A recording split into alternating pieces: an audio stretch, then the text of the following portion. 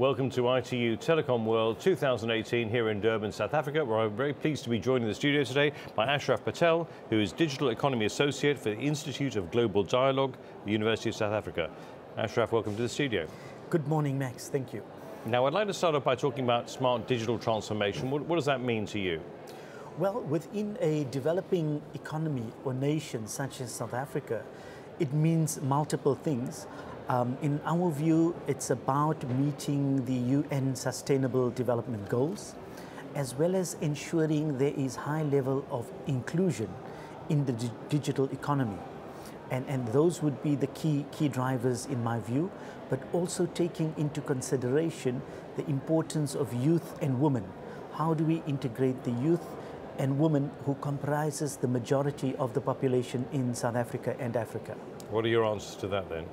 Well, I would say first and foremost, uh, let's start with the youth. Uh, the youth comprises of about 40% of the population, and it's very important that they be productive and are developed with new skills uh, for the 21st century. So I see uh, enabling or reskilling youth uh, with the correct skills so that they are absorbed into the digital economy.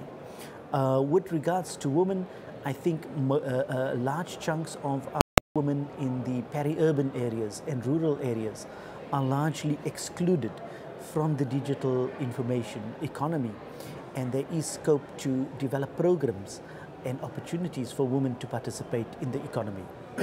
and what about innovation? How can one uh, in increase and, and encourage uh, innovation and, and uh, what do you think is going to be the most transformative?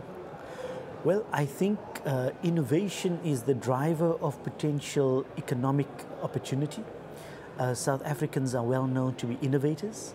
Uh, we developed multiple innovator, innovations over the years. Um, a good example is Mark Shuttleworth. Many years ago, developed an innovation and he on-sold it and he be became very wealthy. Uh, in South Africa, we've got many youth in the townships that are innovating but they, they do need incubation support so that they can take that innovation and take it to market. So I would say that's a, a, a, one of the challenges.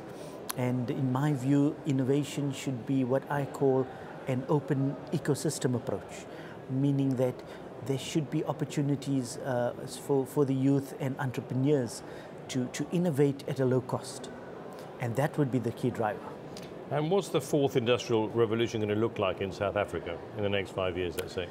Uh, very good question. Uh, the debate is on. Our President uh, Cyril Ramaphosa on Monday uh, talked about the formation of an ICT Fourth Industrial Revolution Commission, and that is going to be a key driver.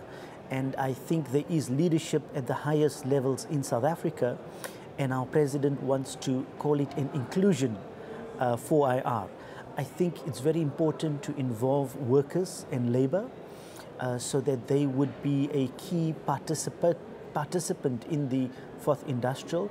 A lot of unions are concerned about robotics, and that may mean a reduction in jobs. And our view is we need a balanced approach where we introduce robotics, but we ensure labor is reskilled so that there are not large-scale retrenchments. So that, would, that is one of the debates in South Africa. And what do you think are the challenges and, and the opportunities in this fourth industrial revolution then? I think there are many challenges. The main one being um, workers may be dislocated from workplace activity, and the relationship between uh, workers uh, in both the manufacturing and services sector can uh, uh see large uh, periods of alienation from the production process. And uh, my view as a researcher is we, we, we need engineers, but we also need sociologists. We need designers. We need the creatives to be involved in the designing of the new workplace for the fourth industrial revolution. And hopefully the ITU and other UN uh, organizations can create that opportunity. Otherwise, large chunks of, of, of the working class may just be excluded in this new 4IR about the value of attending events such as ITU Telecom World. What, why have you uh, come down here?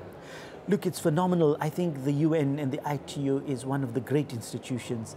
It involves all nation states, uh, different cultures, different regions, and uh, it's one of the wonderful innovations uh, of the UN system. As you know, the ITU is over 140 years old. It preceded the UN. Over 150, in fact. Yes, yes. yeah, yeah. And that is truly remarkable. And I think um, for me, it's the cultural interaction, learning from different nations, learning from different cultures, learning from different regions. And uh, that is the beauty of the UN system. And this event itself, how have you found it? phenomenal. I think Durban is a wonderful place, uh, lovely climate, uh, multicultural. Uh, I think the innovations and the companies on uh, exhibiting have been great, and the networking amongst the different organizations have been phenomenal. So it has been quite successful and really a good start for the next few years. Patel, thank you very much indeed. Thank you, Max. Excellent.